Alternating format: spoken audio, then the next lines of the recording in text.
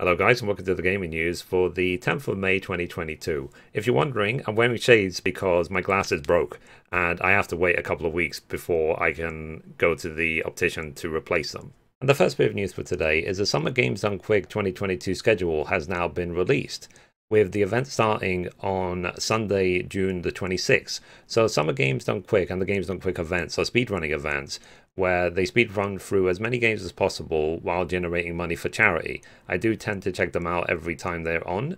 They typically are on during the summer and the winter months, so be sure to check it out if you haven't already.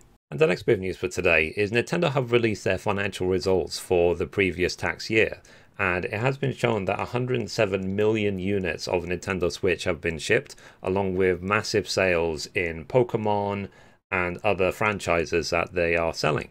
So Nintendo is doing very well right now, and we will see in the future what information we can get about the next Zelda, for example. And the last bit of news for today is the next live stream for Dead Space Remake is going to be on the 12th of May at 10 a.m. PT, focused on art. So if you're interested in Dead Space Remake, then be sure to tune in to the live streams when they happen.